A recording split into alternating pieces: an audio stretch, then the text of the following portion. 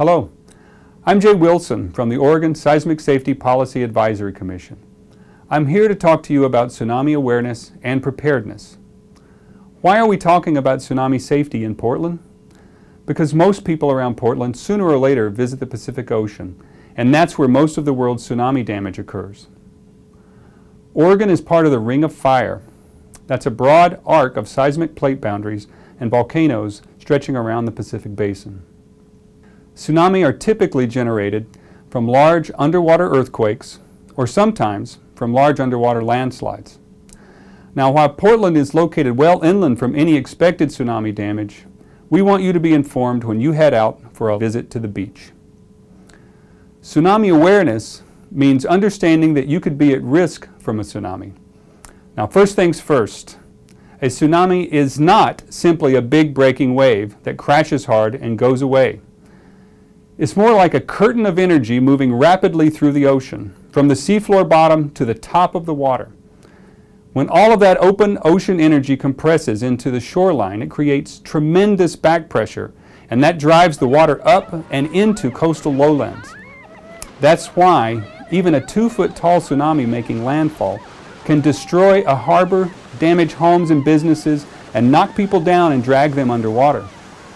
A tsunami can continue to push inland for tens of minutes and then recede back into the ocean with tremendous velocity. Do not enter a tsunami threatened area until public officials announce it's safe to return. The first inundation may not be the largest. Most tsunami events can last up to at least 24 hours and become magnified during the two daily high tide cycles. Knowing what to do and where to go before a tsunami strikes can save your life. Understanding tsunami preparedness will also help you relax and enjoy your time at the beach. If you live, work, or play near the ocean, learn where the tsunami evacuation zone is for your coastal area.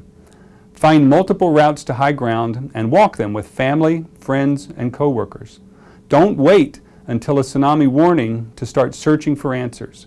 Consult ahead of time with local police, fire, or emergency officials for more information.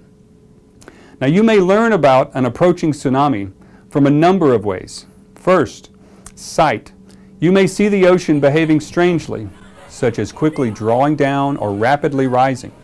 You may notice people quickly leaving the beach or heading for high ground. Next, sound. You may hear the ocean roaring or crashing at increasing levels. You may receive a message on your television, radio, or cell phone to evacuate or tune in for instructions. Or you may hear a siren alerting you to take action. Tsunami sirens may be triggered hours in advance of a distant tsunami or with only minutes to spare during a nearby earthquake. But a siren may also not work following a large earthquake, so don't depend on the siren to evacuate. And finally, feeling. You may feel an earthquake or even an ongoing feeling of motion sickness. Subduction zone earthquakes can last for minutes and may not seem very severe. Don't be fooled. A tsunami may begin to arrive as quickly as five minutes later on the southern Oregon coast and 15 on the northern coast. Avoid having a fatal sense of tsunami curiosity and evacuate to high ground immediately. Do not drive since roads and bridges may be damaged. Getting stuck in traffic will get you killed. Provide assistance to others only if necessary, but do not waste valuable time. The tsunami is utterly unforgiving. We cannot stop a tsunami, but we can be aware and prepared if we need to take action. Take the time to learn what to do and where to go. Participate in earthquake and tsunami drills.